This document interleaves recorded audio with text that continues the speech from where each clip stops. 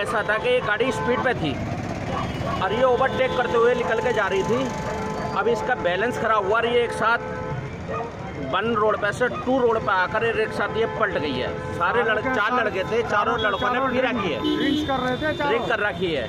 मस्ती में नाश्ते गाते आ रहे थे। गाड़ी की स्पीड कम से कम 200 किलोमीटर प्रति घंटे की स्पीड पर थी। दो सौ तो इसमें किसी को चोट वगैरह लगी है? चोट तो लगी है लेकिन सब बंदों को पीसीआर इस गाड़ी के थोड़ा सा पीछे खड़ी थी उन्होंने देखा।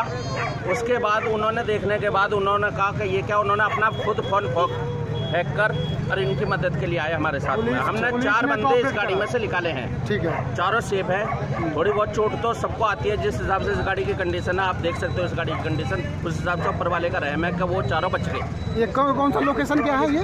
ये वेस्ट विनोद नगर आता मधु विहार थाना आता है इस क्षेत्र का खिचड़ीपुर पुल।